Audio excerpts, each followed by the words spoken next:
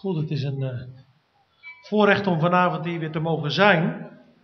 Het is altijd een uh, zegen om uh, hier zo samen met jullie ook liederen van aanbidding en lofprijzing te zingen. Omdat je ook merkt dat jullie ook verlangen vanuit het hart de Heer groot te maken op de eerste dag van de nieuwe week. We gaan vanavond met elkaar naar de Efezebrief. En als jullie een Bijbel hebben, dan kunnen jullie met me meelezen. We gaan naar de Efezebrief. En ik ga vanavond met jullie nadenken over drie werkwoorden. En dat zijn de werkwoorden zitten, wandelen, stand houden.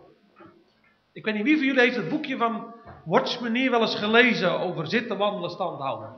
Eén, twee. Greten nooit gelezen? Oké. Oké, nou, dat is een heel kostbaar boekje van uh, Watchmanier. En die heeft een boekje geschreven, zitten, wandelen, stand houden. En die werkwoorden die komen we tegen in de Efezebrief. En ik hoop daar vanavond het een en ander over te vertellen. Waarom die volgorde, zitten, wandelen, stand houden, zo belangrijk is. En uh, de vorige keer heb ik uh, gesproken over opwekking. En uh, vanavond is het een woord meer van onderwijs.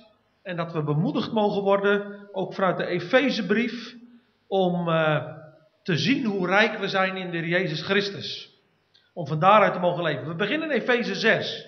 We gaan achteraan beginnen en we gaan van het zesde hoofdstuk gaan we terug naar het eerste hoofdstuk. En dan lezen we in Efeze 6, vers 10. Verder, mijn broeders, wordt gesterkt in de Here en in de sterkte van zijn macht. Bekleed u met de hele wapenrusting van God, opdat u kunt stand houden tegen de listige verleidingen van de duivel. Want wij hebben de strijd niet tegen vlees en bloed, maar tegen de overheden, tegen de machten, tegen de wereldbeheersers van de duisternis van dit tijdperk tegen de geestelijke machten van het kwaad in de hemelse gewesten. Neem daarom de hele wapenrusting van God aan, opdat u weerstand kunt bieden op de dag van het kwaad en na alles gedaan te hebben, stand kunt houden. Houd dan stand. Nou, tot drie keer toe zie je in het gedeelte wat we nu hebben gelezen het woordje, het werkwoord stand houden. In vers 11, opdat u stand kunt houden. In vers 13 de laatste woorden, stand kunt houden. En vers 14 de eerste drie woorden, houd dan stand. Nou, dat is het eerste werkwoord wat we vanavond met elkaar willen overdenken. Lieve broeders en zusters, wij zijn met elkaar betrokken in een geestelijke oorlog. Een heilige oorlog. Geen jihad. Geen strijd, zegt Paulus, tegen vlees en bloed. Maar tegen de overheden, tegen de machten, tegen de wereldbeheersers van de duisternis, van dit tijdperk. De Satan en al zijn demonen, dat was voor Paulus een levende realiteit. Hij zegt in 2 Korinther 2 vers 11, zijn gedachten zijn ons niet onbekend. Paulus was er diep van doordrongen dat er tussen hemel en aarde een geweldige strijd plaatsvindt ten aanzien van de gemeente en ten aanzien van individuele gelovigen. Hij zegt in de Korinthebrief, daar spreekt hij over uh, de Satan die er alles aan gelegen is om de mensen weg te voeren van de eenvoud die in Christus is. En dan spreekt Paulus in de elfde hoofdstuk van 2 Korinthe, hij spreekt daarover valse apostelen, bedrieglijke arbeiders die zich voordoen als apostelen van Christus. Maar hij zegt, ik vrees dat zoals de slang met zijn sluwheid Eva verleid heeft, zo misschien ook uw gedachten bedorven worden, weg van de eenvoud die in Christus is. Want als er iemand komt die een andere Jezus spreekt, een andere geest ontvangt, een ander evangelie. En dat is denk ik in de kern het werk van Satan in de gemeente van de Jezus Christus, maar ook in onze persoonlijke levens. En dat is denk ik ook de rode draad in de Efezebrief. Straks gaan we met elkaar naar Efeze 1 toe, hè, waar het gaat over de volheid in Christus die we hebben ontvangen in de wedergeboorte. En dat Paulus bidt in de, voor de gemeente van Efeze, dat die volheid van de persoon van de Jezus Christus mag opengaan voor de gemeente. Dat ze uit die volheid zullen leven. Dat de gelovigen een christocentrisch leven leiden. Waar het draait om de Jezus. En waar we met al onze tekortkomingen, zonden, met al onze, ja moet ik het zeggen, fouten en, en, en zorgen dat we van onszelf afzien op de persoon van de Heer Jezus Christus.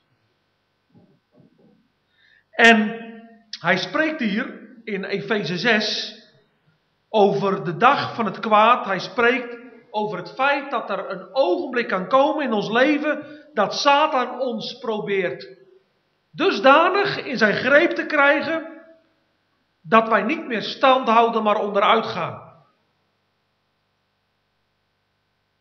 Kijk, als we het beeld dat Paulus hier gebruikt, dat is een beeld van een oorlog. En dan wordt gevochten. En waar is de vijand op uit? De vijand is erop uit om ons ja, neer te schieten. Kijk maar hè, naar oorlogen waar gestreden wordt. En de vijand is erop uit om de tegenpartij te schieten, zodat individuele soldaten geschoten worden, onderuit gaan en niet meer effectief kunnen zijn in de geestelijke strijd. En de dag van het kwaad is de dag waarop ook in ons leven Satan naar ons toe komt. En dat kan zijn nou ja, dat Satan naar ons toe komt door allerlei machten. De Satan die kan naar ons toe komen door middel van verwarring, door middel van verleiding, door middel van verzoeking. De Satan kan op alle mogelijke manieren naar ons toe komen door misleiding, door bedwelming. Waardoor wij uiteindelijk niet stand houden als een getrouwe soldaat van Jezus Christus. Maar dat we onderuit gaan en niet meer de geestelijke strijd kunnen strijden. Waardoor wij niet meer effectief zijn om zielen te winnen voor de Heer en ook God welbehagelijk te leven. En daarom spreekt Paulus hier over de listige verleidingen van de duivel. In het Grieks wordt hier het woordje methodijs gebruikt. Methode, wij kennen de methode. Wat is een methode? Een manier. Op een, op een school wordt nagedacht hoe kinderen van groep 1 naar groep 8 kunnen gaan door middel van een methode. Hoe ze kunnen leren schrijven, hoe ze kunnen leren rekenen. En er worden methodes bedacht om een kind steeds meer een stapje hoger op te krijgen in taal of in rekenen. Een methode, dat wil zeggen een vooropgezet plan om uiteindelijk een kind van 1, groep 1 naar nummer 8 te krijgen. En zo weten wij vanuit de Bijbel dat Satan listig is, dat hij methoden heeft, dat hij altijd weer weet hoe hij gelovigen in zijn greep kan krijgen om ze onderuit te halen, zodat zijn, dat Gods kinderen de geestelijke strijd niet meer kunnen strijden. En mijn vraag vanavond is, zijn wij ons ervan bewust? Zijn wij ons ervan bewust dat wij betrokken zijn in een geestelijke oorlog? In een heilige oorlog. Dat er een tegenstander is, dat er boze machten, demonen zijn, die erop uit zijn om ons op een zijspoor te krijgen. De Bijbel die wordt, in de Bijbel wordt Satan genoemd in Johannes 8 vers 44. De mensenmoordenaar van de beginnen, de vader van de leugen. Een mensenmoordenaar vanaf het begin van de schepping. We hebben te maken met een tegenstander die 6000 jaar ervaring heeft En die weet hoe hij een gemeente onderuit kan halen. Hij weet hoe hij individuen onderuit kan halen, opdat ze niet als trouwe soldaten vechten in het leger van koning Jezus. En daarom roept Paulus de gemeente op, de gelovigen in Efeze op, om de hele wapenrusting aan te doen. En hij roept ze op om te zien hoe krachtig ze zijn in de Heer. Verder, mijn broeders, wordt gesterkt in de Heer en in de sterkte van zijn macht. Kijk, wij zijn in onszelf, zijn wij krachtloos. Maar wat staat er in Isaiah 43 staat? Ik ben God, wie zal mij keren? Er is er één die sterker is dan Satan. En dat is de levende God. En dat is de Heer Jezus Christus, die geopenbaard is aan het kruis van Golgotha om de werken van de duivel te verbreken. En in Hem kunnen wij, zo gaan we straks ook zien vanuit Efeze, vanuit Efeze 1, in Hem kunnen wij de geestelijke strijd strijden. We worden opgeroepen om stand te houden. Een vraag vanavond is, houden wij stand? Of zijn we hier misschien naar de gemeente gekomen en moeten we eerlijk vanavond beleiden, ik ben in de greep van de boze terechtgekomen. Ik heb niet meer mijn focus op de Jezus Christus. Ik heb toegegeven aan verzoeking, heb toegegeven aan verleiding. Ik heb geen weerstand geboden. Op, die, op de dag van het kwaad, de afgelopen week, heb ik geen weerstand geboden. En ik ben onderuit gegaan. Oh, wat is het heerlijk om te mogen weten dat ook hier een plek is waar we met elkaar elkaar kunnen aansporen en kunnen bemoedigen om terug te keren naar de Heer Jezus, om onze zonde te beleiden en er weer in te gaan staan. Want als wij vallen in zonde, dan moeten we niet aan Gods genade vertwijfelen, nog in de zonde blijven liggen. Maar dan wil de Heer dat we opstaan. En dat we opnieuw onze positie innemen als soldaten van de Heer Jezus Christus. Wij worden opgeroepen, lieve vrienden, broeders en zusters, om stand te houden. En dat is een geweldige strijd, maar het is wel een goede strijd. En Satan zal er alles aan doen om ons te misleiden, om ons te verleiden in ons leven met de Heer. Maar goed, dan gaan we even een stapje verder. Ik had het, straks ga ik het verder nog wat uitwerken, maar nou roept de Heer ons op om, Paulus roept ons op, de Heer roept ons op om stand te houden, maar de Heer roept ons ook op te wandelen. We gaan even naar hoofdstuk 5. Wees dan navolgers van God als geliefde kinderen. En wandel in de liefde zoals ook Christus ons lief gehad heeft. En zichzelf voor ons heeft overgegeven als een offergave, slachtoffer tot een aangename geur voor God. Vers 8. Want u was voorheen duisternis, maar nu bent u licht in de Here, wandel als kinderen van het licht. We bladeren even hoofdstuk 4, vers 1. Zo roep ik dan de gevangenen in de Heer u op tot een wandel die de roeping waarmee u geroepen bent waardig is. In alle nederigheid en zachtmoedigheid met geduld door elkaar in liefde te verdragen. Vers 17. Dit zeg ik dan en getuige ervan in de Heer dat u niet meer wandelt zoals de andere heidenen wandelen in de zinloosheid van hun denken. Verduisterd in het verstand, vervreemd van het leven dat uit God is. Door de onwetendheid die in hen is, door de verharding van hun hart. Nou, ik heb een aantal teksten gelezen in hoofdstuk 5, vers 1 e, en 2, vers 8, hoofdstuk 4, vers 1, hoofdstuk 4, vers 17, waar het werkwoord wandelen naar boven komt.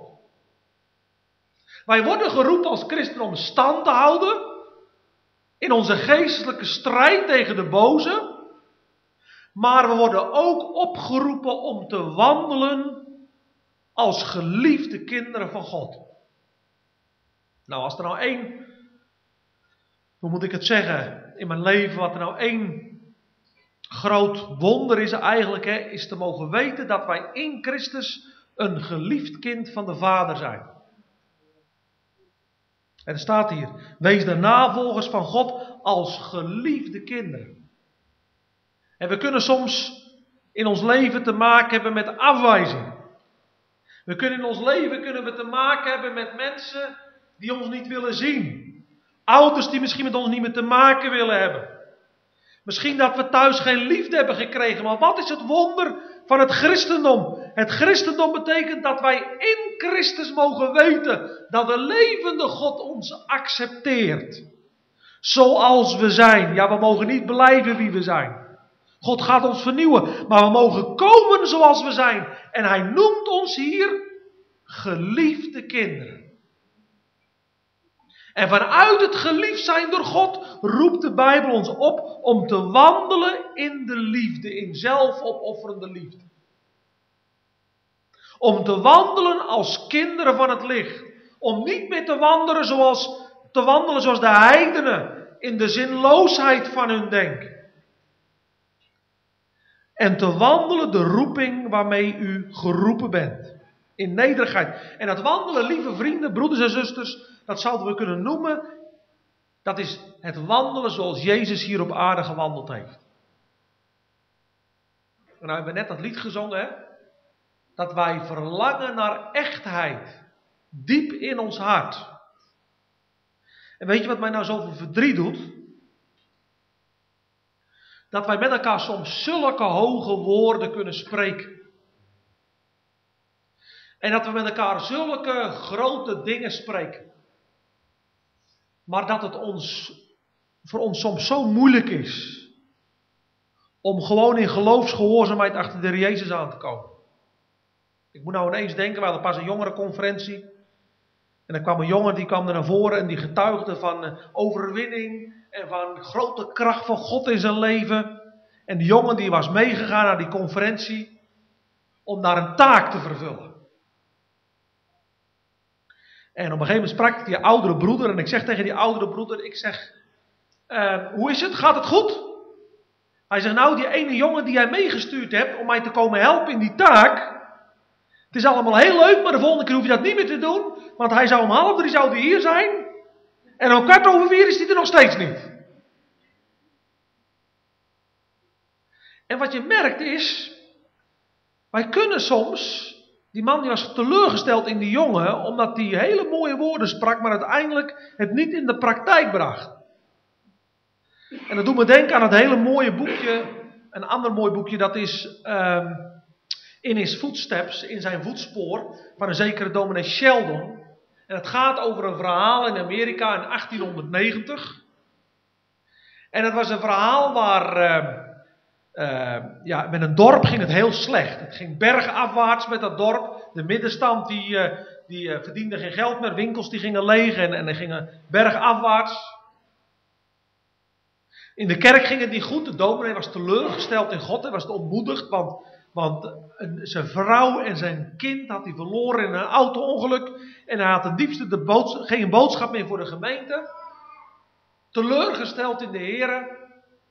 En de gemeente die merkte dat en langzaam maar zeker de een naar de ander die ging weg omdat er geen leven meer was vanaf de, vanaf de preekstoel. En op een dag wordt daar een, een, een, een zwerver komt daar aan in dat dorp. En die zwerver die klopt aan de deur bij de een en bij de ander. En hij probeert onderdak te krijgen. Hij probeert eten te krijgen. En nergens, overal krijgt hij nee te horen. Nergens vindt hij onderdak. En op een gegeven ogenblik dan denkt hij, weet je wat, dan moet ik naar de plek gaan waar ik het wel kan krijgen, namelijk in de gemeente. De kerkelijke gemeente, in de kerk in het plaatselijke dorp. En hij gaat er naartoe en die dominee die houdt een hele mooie preek over de tekst. Dit is uw roeping, Christus heeft voor u geleden, voor jou geleden en daarmee een voorbeeld gegeven. Treed dus in de voetsporen van hem. En die dominee die houdt daar een preek over. En aan het einde van de preek komt die zwerver naar voren lopen. En die zegt, nou begrijp ik het niet meer. Jullie hebben zo'n mooie boodschap die jullie verkondigen. Jullie hebben een prachtige boodschap die jullie verkondigen. Namelijk, Jezus is jullie voorbeeld. En jullie willen op dezelfde manier zijn voetstappen navolgen. Hij zegt, de afgelopen week ben ik door het dorp gegaan en ik heb overal geprobeerd onderdak te krijgen. En er was niemand die zijn deur openzette en nergens heb ik onderdak gekregen. Volgens mij staat jullie leven haaks op het woord van God. Jullie wandelen niet zoals Jezus hier gewandeld heeft. Mooie woorden, maar geen leven. Paulus die roept de gemeente van Efeze op om te wandelen als kinderen van het licht. Hij, hij, hij roept de gemeente op om te wandelen in liefde. Om niet meer in de zinloosheid van ons denken verder te leven, verduisterd in ons verstand, vervreemd van het leven van God. Nee, om overeenkomstig het woord van God te leven. Te wandelen zoals Jezus hier 2000 jaar geleden op aarde gewandeld heeft. Lieve vrienden, broeders, zusters. Dat is Gods roeping voor ons leven. Een hoge standaard, een hoge norm. Te leven hier op aarde zoals Jezus geleefd heeft. Heel praktisch. Als je bijvoorbeeld uh, dat, dat, dat, dat bekijkt in de Bijbel, zoals Jezus geleefd heeft, dat Jezus ons grote voorbeeld is, dan kunnen we dat onder andere lezen in de Petrusbrief, waar het gaat over omgaan met onrecht in je leven. Ik vind het zo uh, indrukwekkend. Daar wordt gesproken over werkgevers en werknemers die verkeerd met elkaar zijn omgegaan. En dan, dan staat er in de Petrusbrief, daar staat daar geschreven in hoofdstuk uh, eh, 2, want dat is genade als iemand om het geweten voor God dingen verdraagt die hem pijn doen en daarbij, daarbij ten onrechte leidt. Nou, misschien hebben wij al te maken met onrecht in ons leven. Hoofdstuk 2, vers 19. Wat is dan het grote gevaar? Het grote gevaar bij onrecht is dat wij er verkeerd mee omgaan, dat we gaan liegen in ons leven. Of dat wij terug gaan schelden naar mensen die ons iets verkeerd aandoen op onze werkplek, in onze omgeving. Dat wij misschien iemand anders gaan uitschelden. Of dat we terug gaan dreigen. Ja, maar jij hebt mij dit gedaan en daarom zal ik jou dat doen. Nee, wat staat er? Ik vind dat zo indrukwekkend. De Heer Jezus heeft ons een voorbeeld gegeven. Hij die geen zonde gedaan heeft, in wiens bedrog, in zijn mond geen bedrog gevonden werd. En toen hij uitgescholden werd, schold hij niet terug. En toen hij leed, dreigde hij niet, maar dan komt het, maar gaf het over aan hem die rechtvaardig oordeelt. Wat is het geheim van de christen? De christen weet dat er een dag komt dat Jezus deze aarde rechtvaardig zal oordelen. Alles zal aan het licht komen. Al onze gezindheden van ons hart, onze motivaties, waarom we dingen gedaan hebben, waarom dingen niet gedaan hebben. Alles komt aan het licht. En daarom roept Petrus op om situaties van onrecht los te laten bij de Here en aan de Here over te geven. Dat is bevrijdend. Het is bevrijdend om dingen los te laten voor de Heer, om niet terug te gaan schelden in situaties van onrecht, om niet te gaan bedriegen, geen grote mond terug te geven, maar over te geven aan Hem, die straks rechtvaardig zal oordelen en te wandelen in zelfopofferende liefde. Zoals Christus ons lief gehad heeft en zichzelf voor ons heeft overgegeven als een offergave en slachtoffer tot een aangename geur voor God? Zijn wij zulke navolgers van God? Hebben wij de Jezus als ons grote voorbeeld voor ogen? Wandelen wij als kinderen van het licht? Want Paulus zegt, voorheen waren wij duisternis. We kunnen in de gemeente komen, we kunnen ons voordoen als kinderen van het licht. Dat we toch ondertussen nog steeds als heidenen wandelen in de zinloosheid van ons denken. Nou zegt Paulus, dat kan niet. Vroeger waren we duisternis. Als je in de gemeente van de Heer Jezus Christus komt, dan moet je die nieuwe jas aandoen. Die oude jas die moet je uittrekken. De bereidheid hebben om je leven te reinigen. En alle ongerechtigheid af te leggen. En dan zegt Paulus, ontwaakt u die slaapt en sta op uit de dood en Christus zal over u lichten. Een geweldige roeping. Om te wandelen in de liefde en te wandelen als kinderen van het licht. En nou kom ik naar de ontknoping. Ik heb het gehad over drie werkwoorden. Zitten, wandelen, stand houden. Wij worden opgeroepen in, deze wereld om stand te houden als getrouwe soldaten van Jezus Christus. Wij worden opgeroepen om als navolgers van de Heer Jezus te wandelen in deze wereld. Een geweldige, hoge roeping. En wat zegt Watchmanier in zijn boekje? Hij zegt heel veel mensen die proberen te wandelen. Die proberen stand te houden. En ze falen voortdurend in hun leven. Ze spreken mooie hoge woorden over stand houden. Ze spreken mooie woorden over wandelen. En toch de praktijk van hun dagelijks leven. Daarin stellen ze zichzelf zo vaak teleur. Ze brengen er zo weinig van terecht. Hoge woorden. Maar in de werkelijkheid is het mislukking op mislukking. En dan komt hij naar de ontknoping. Hij zegt: Weet je hoe dat komt? Ze hebben nog nooit leren zitten in hun leven. En wat is zitten? We gaan straks lezen waar het staat. Maar wat is nou eigenlijk zitten? Ik sta hier. En ik sta hier op mijn twee benen. En dat vraagt energie, dat vraagt activiteit, dat vraagt inspanning.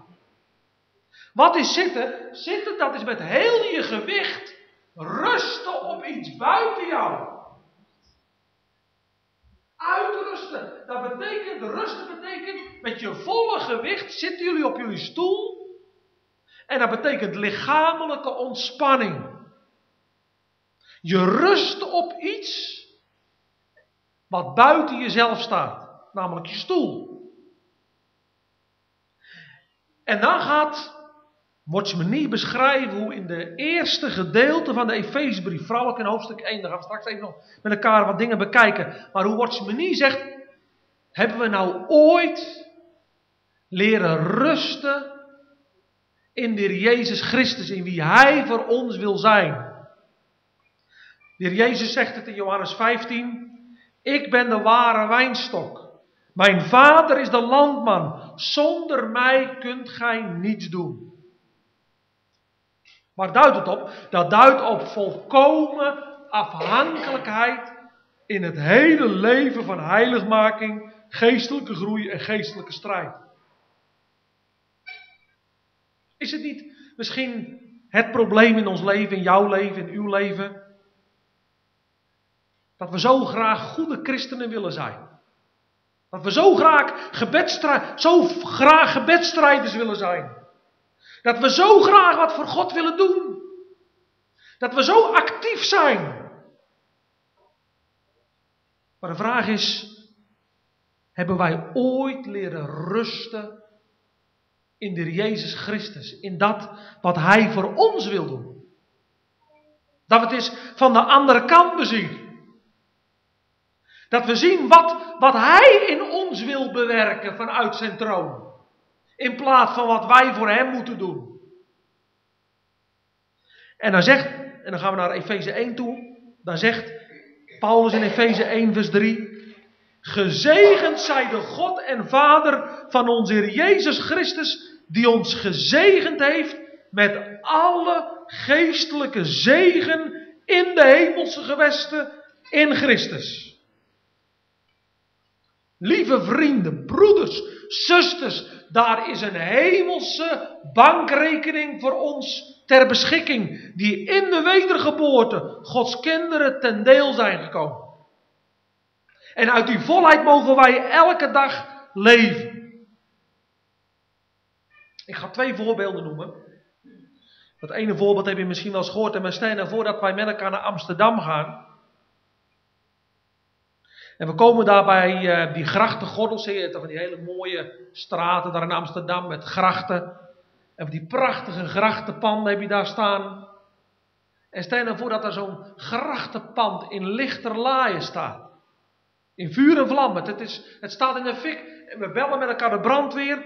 En dan komt een grote brandweerwagen aanrijden. En dan komt een spuitblusser aanrijden. En een ladderwagen. Want die zijn nodig om die brand te kunnen blussen. Maar wat gebeurt er? Die vrachtwagen komt er aanrijden. 50 man, 50 brandweerlieden komen met, met, met, met die brandweerwagens mee. Ze stappen uit. Ze gaan met elkaar in een rij staan.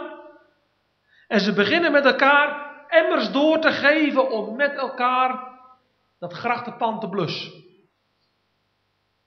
En na een, dag is dat vuur geblust en ze gaan naar huis. Een paar weken later worden ze gebeld door de burgemeester en die nodigt ze uit op het uh, gemeentehuis. En ze denken, nou, we krijgen misschien wel een, uh, een, een, compliment voor het feit dat wij branden geblust hebben. Wat zegt dan de burgemeester? Hij zegt, wat is dat voor ons een grote teleurstelling? Wat een grote teleurstelling. Wij hebben jullie de duurste uitrusting gegeven. Vorige jaar hebben jullie gevraagd om de modernste uitrusting om grachtenpanden te kunnen blussen. En we hebben jullie alles ter beschikking gesteld om zo'n grachtenpand te blussen. Wat hebben jullie gedaan? Jullie hebben met elkaar een brand geblust.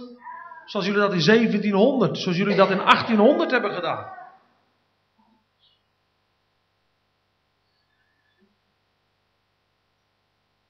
Het grootste probleem, denk ik, in ons persoonlijk geestelijk leven is dat wij nog heel vaak proberen in eigen kracht heilig te leven, dat we in eigen kracht proberen geestelijk te strijden, terwijl we er onvoldoende van doordrongen zijn dat wij in de Jezus Christus gezegend zijn met alle geestelijke zegeningen. Dat er een hemelse bankrekening voor ons ter beschikking is. Dat we alleen maar met onze lege handen naar boven hoeven te kijken en te zeggen: Heere, help mij, Heere, zegen mij, Heere, geef me kracht, Heere. Geef me zicht op hoe rijk ik ben in U. Nog een voorbeeld. Ik heb dat ook in het boek Geestelijke Groei staan, hè, maar dat is een voorbeeld van een Slovaakse zwerfster die hier in Nederland heeft geleefd. En die, is, uh, die, die leefde op straat. En op een gegeven ogenblik is ze gestorven. En toen ze gestorven is, toen hebben zij haar uh, gegevens nagetrokken. Toen bleek ze uit, uh, Slowakije te komen. En wat bleek?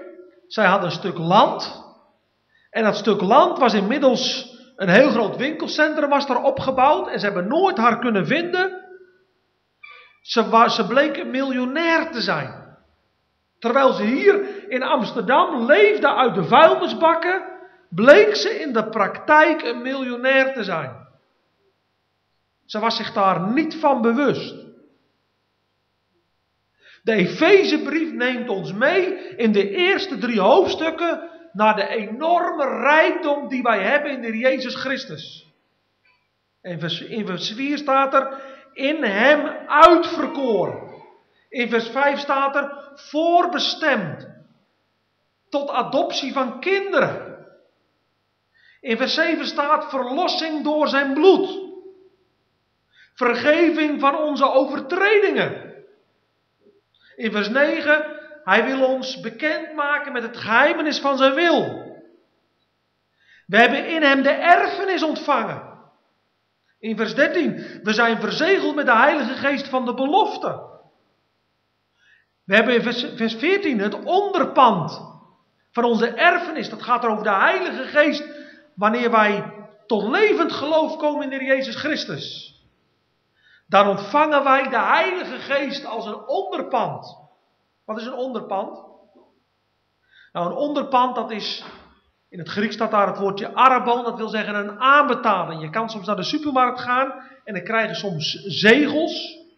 Bij ons heb je een keer zegels gehad, bijvoorbeeld voor een, voor een, uh, een plantenactie. Je krijgt bijvoorbeeld twee, drie zegels. En bij de inlevering van die zegels krijg je een hele uh, bak met perkplanten. Om te poten in je tuin. Die zegels zijn als het ware een, een, een onderpand van een groter cadeau. De Heilige Geest hebben we ontvangen in de wedergeboorte Als een onderpand. En, dat, en we mogen weten dat het uiteindelijk recht geeft op die hemelse erfenis die komen gaat. Paulus die laat ons zien hoe schatrijk wij zijn in de Heer Jezus Christus. En wat zegt hij dan in vers 17? Of vers 16, laten we vers 16. Ik houd niet op voor u te danken als ik in mijn gebeden aan u denk. Opdat de God van onze Heer Jezus Christus, de Vader van de heerlijkheid, u de geest van wijsheid en openbaring geeft in het kennen van Hem. Namelijk verlicht de ogen van uw verstand om te weten wat de hoop van zijn roeping is en wat de rijkdom is van de heerlijkheid van zijn erfenis in de heilige. En wat de alles overtreffende grootheid van zijn kracht is aan ons die geloven overeenkomstig de werking van de sterkte van zijn macht. Die hij gewerkt heeft in Christus toen hij hem uit de dood opwekte en aan zijn rechterhand zetten in de hemelse gewesten. Ver boven alle overheid en macht en kracht en heerschappij en elke naam die genaamd wordt, niet alleen in deze wereld, maar ook in de toekomende. Dan gaan we naar hoofdstuk 2 vers 6. En heeft ons met hem opgewekt. En met hem in de hemelse gewesten gezet in Christus Jezus. Dan ga ik uitwerken stand houden, wandelen. En hier wordt in vers 6 gesproken over zitten. Met Christus meegezet in de hemel. En we lezen in vers 20 dat de Heer Jezus Christus aan de rechterhand van de Vader gezet is in de hemelse gewest. Tot twee keer toe wordt hier gesproken over het woordje zitten. Zitten, wandelen, stand houden. Zitten, dat is rusten op iets buiten jezelf. Zitten, dat wil zeggen met heel je lichaamsgewicht rusten op iets buiten jezelf. Nou, wat is er gebeurd? Waarin mag de christen rusten? Wat is er gebeurd toen de Jezus is opgestaan uit de dood? Toen de Jezus opgevaren is naar de hemel, toen is hij aan de rechterhand van de Vader gezet, boven alle demonische machten en krachten. En nou zegt Paulus in hoofdstuk 2, vers 6, en ons heeft hij mee opgewekt en meegezet aan de rechterhand van de Vader. Dezelfde kracht die Jezus uit de dood heeft opgewekt, met diezelfde kracht hoofdstuk 2, vers 1, zijn de christenen, zijn de gelovigen, zijn de zondaren van doodlevend gemaakt. En diezelfde kracht wil God uitwerken in ons leven. Wij worden opgeroepen om het geestelijk te strijden. Maar wat geeft ons nou gezag en autoriteit om te strijden tegen de boze? Wat geeft ons gezag en autoriteit? Nou, dat wij in de Jezus Christus gezag en autoriteit hebben over het rijk van de duisternis. Niet omdat wij zelf zo krachtig zijn, maar omdat wij met Christus meegezet zijn in de hemel aan de rechterhand van de Vader. Ik ga dat duidelijk maken met een voorbeeld.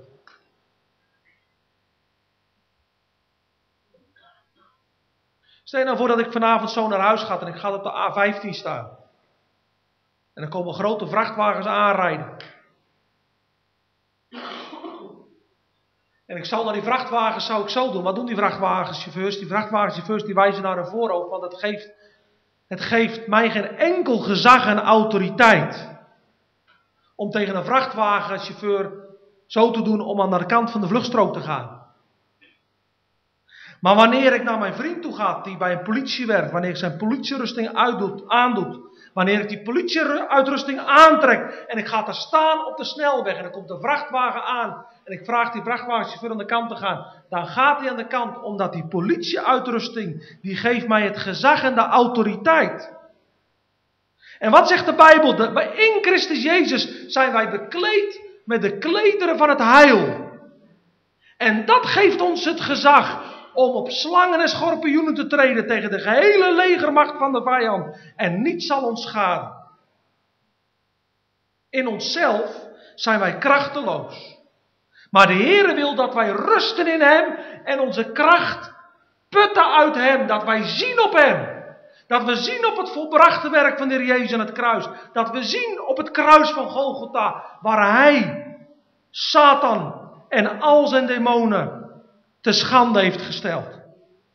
Wat staat er in, in, uh, in de Korinthebrief? Ik vind het ook zo, uh, of in de Colossense 2 staat dat. Daar staat in Colossense 2 vers 15.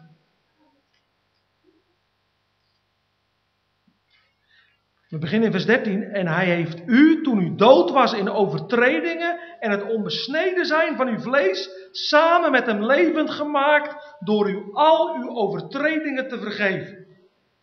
En het handschrift dat tegen ons getuigde uit te wissen. Dit handschrift was met zijn bepalingen tegen ons gericht en hij heeft dat uit het midden weggenomen door het aan het kruis te nagelen. Halleluja. Het handschrift, wat tegen ons gericht was, heeft hij weggenomen. En hij heeft de overheden en de machten ontwapend, die openlijk te schande gemaakt en daardoor over hen getriomfeerd. Zie je het voor je? De Jezus heeft daar aan het kruis van Golgotha Satan ontroond. Hem de wapens ontnomen. En wij mogen weten als gelovigen dat die wapens aan ons gegeven worden om nu op te treden tegen de boze. Doet aan de hele wapenrusting. De Jezus heeft op Golgotha Satan ontroond. Openlijk te schande gemaakt. Maar hij heeft ons nu de wapenrusting gegeven om tegen diezelfde boze en zijn, en zijn handlangers, zijn demonen te strijden om Satan, ja hoe moet ik het zeggen, met de wapenrusting te ontmaskeren, maar ook weerstand te bieden, opdat we stand zouden houden. De Efezebrief is een hele wonderlijke brief waarin Paulus ons voorhoudt wat het betekent om te zitten, te wandelen en stand te houden. En de vraag is vanavond, hebben wij geleerd om te zitten? Hebben wij geleerd te rusten in de Heer Jezus? Ik zie steeds meer hè, dat ja, ook in zoveel gemeentes mensen soms zo hollen voor de Heer, terwijl de Heer zegt: Komt alle tot mij die vermoeid en belast zijn, en ik zal u rust geven. Het kan zelfs zijn dat we in het christenleven, net zoals de fariseeërs en de schriftgeleerden, zoveel dingen moeten doen. Terwijl de Heer ons zo duidelijk voorhoudt, ook in de schrift, dat het christenleven begint met rusten in Hem. Te leven uit Hem. Te leven vanuit de volheid van Hem. Vanuit de verwondering dat Hij ons uitverkoren heeft. Dat Hij ons geadopteerd heeft tot Zijn kinderen. Om te leven vanuit de verwondering van de verlossing door Zijn bloed. Dat onze zonden vergeven zijn. Dat de liefde van God in onze hart is uitgestort.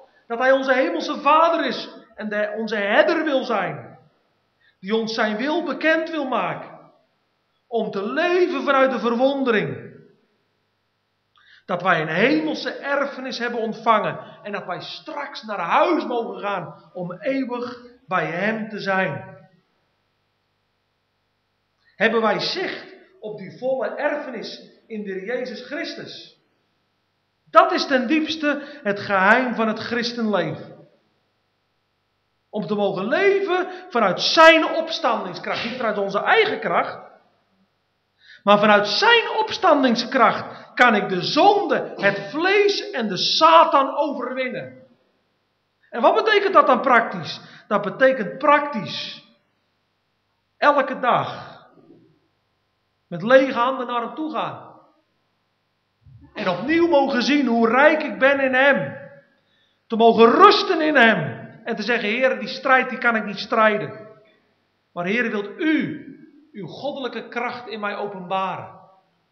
Heer, wilt u mij vullen met de Heilige Geest. Waar jullie vorige week of enkele weken geleden ook over nagedacht hebben. Maar dat je, dat je weer opnieuw naar die bron gaat. mag drinken bij de bron. Het volk Israël, daar wordt van gezegd in Jeremia 2. Mij de springader van levend water hebben ze, mij, hebben ze me verlaten. Om voor zichzelf gebroken bakken uit te houden. Bakken die geen water bevatten. De Heer verlangt ernaar dat wij elke dag naar die springader van levend water gaan. Hij is de fontein tegen de zonde en tegen de onreinheid. Bij Hem moeten we drinken. Uit Hem moeten we onze kracht putten. Bij Hem zijn wij veilig geborgen. Ik vind het zo mooi, het beeld dat Corrie ten Bomen gebruikt over dat wonderlijke leven vanuit zijn troon. Ze zegt, dat is niets anders. Ze gebruikt het voorbeeld, ze zegt, je, je rechterduim, dat symboliseert jij als gelovige. En de Heer Jezus is een beeld van onze linkerhand. En ze zegt, weet je wat het leven met de Heer betekent? Wij zijn in Christus. Verborgen in God. En er is geen grotere intimiteit dan in Christus te zijn, te mogen weten dat je leven verborgen is in God. Om vanuit die diepe werkelijkheid elke dag te mogen leven. En dan, als wij daaruit mogen leven, dat brengt ons tot lofprijzing en aanbidding. Als dit voor ons open gaat, als die geestelijke bankrekening voor ons open gaat, die rijkdom in Hem.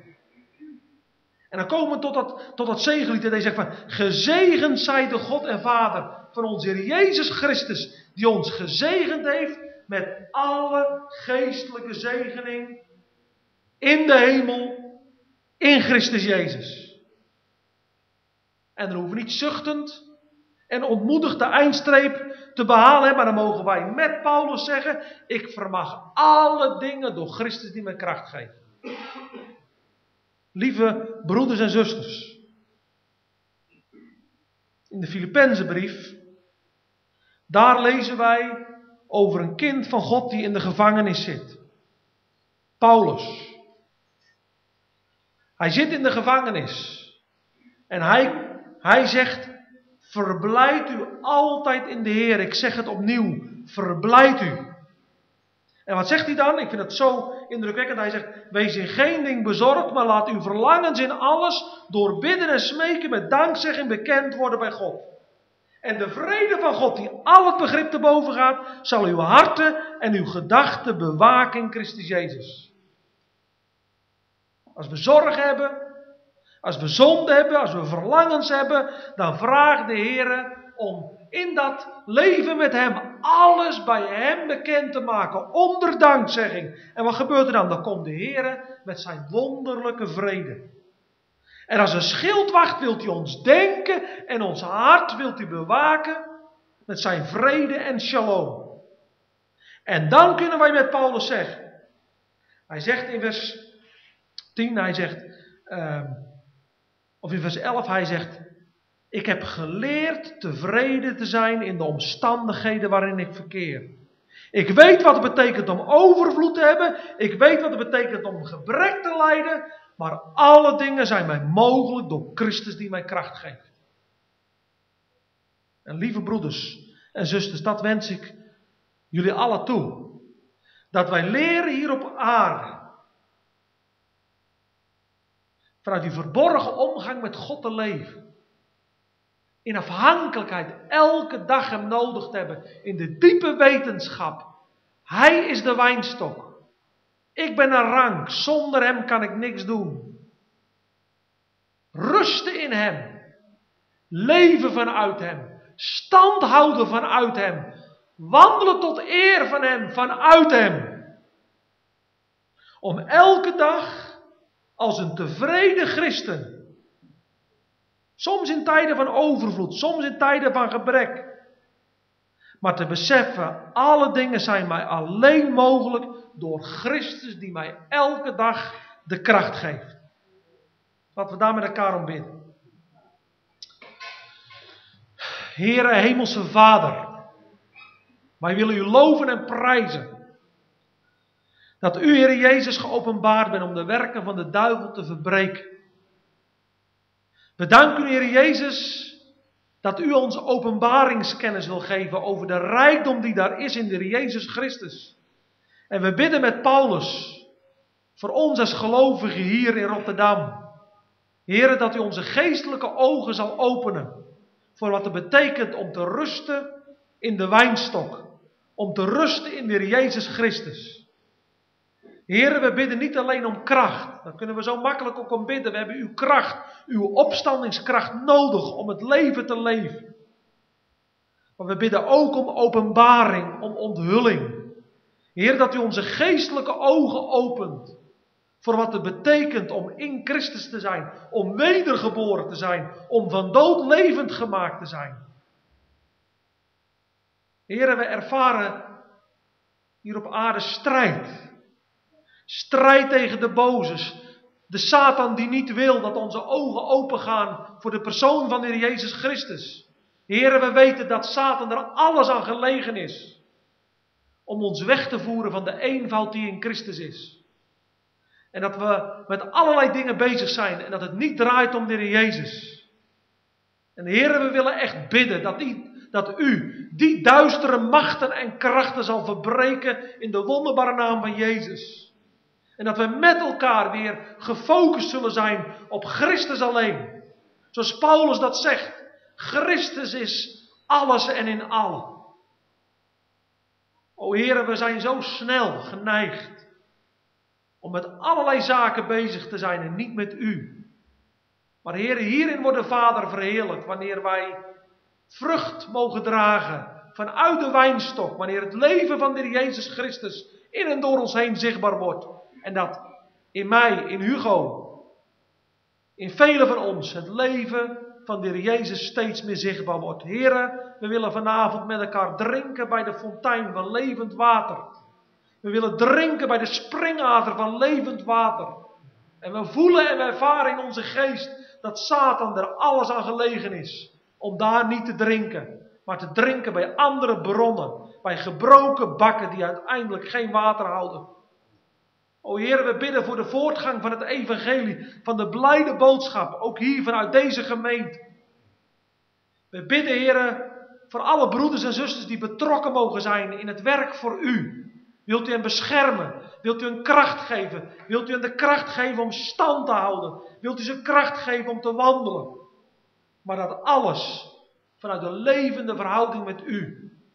Heer, we willen u loven en prijzen. Dat die volheid voor een ieder van ons ter beschikking staat. Dat er een geestelijke bankrekening beschikbaar staat en dat we alleen maar, Heer, bij u hoeven te komen. Onze lege handen mogen, mogen ophouden. O Heer, dat we met onze lege handen mogen komen en dat u ons zal vullen vanuit uw troon in datgene wat we nodig hebben, elke dag van ons leven. Heer, we willen zo elkaar aan u opdragen. U weet wat we nodig hebben. O Heer, geef dat wij niet tegen elkaar zullen strijden, want de strijd is niet tegen vlees en bloed, maar tegen de overheden, de macht in de lucht. En dat we schouder aan schouder geen, ja, Satan geen recht geven ook in onze midden, om tegen elkaar te strijden.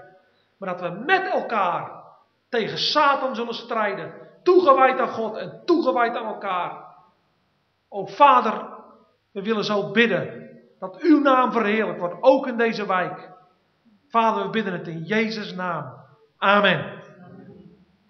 Ik heb sterk op mijn hart om met elkaar als een proclamatie te zingen. Lied 542 van Johannes de Heer. Wilt gij van zonde